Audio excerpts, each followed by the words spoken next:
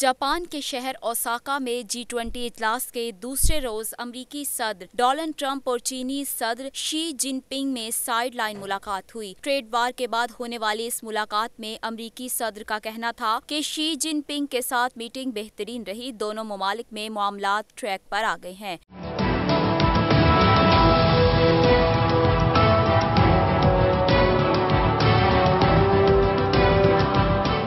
Donald Trump की तुर्क सदर तैयब उर्दगान से भी साइड लाइन मुलाकात हुई, जिसमें मुतनाज़ हथियारों पर बातचीत की गई। इससे पहले सऊदी वली अहद मोहम्मद बिन सलमान और अमरीकी सदर में मुलाकात हुई थी। जी ट्वेंटी इजलास के दूसरे रोज अमरीकी सदर डोनाल्ड ट्रंप की दीगर आलमी रहनुमाओं से भी साइड लाइन मुलाकातें हुई हैं।